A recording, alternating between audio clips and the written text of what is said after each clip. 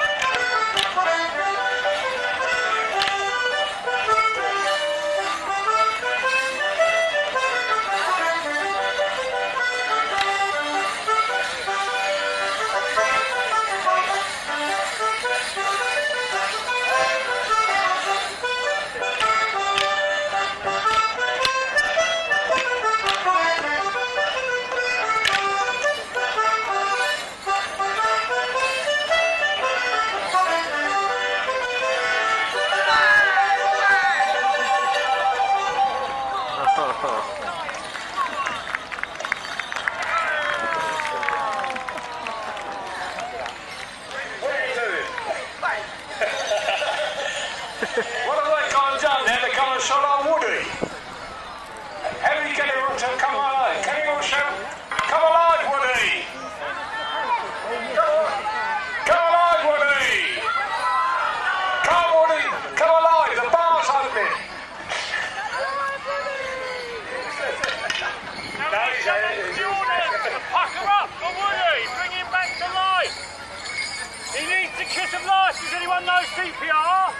I understand you might know people.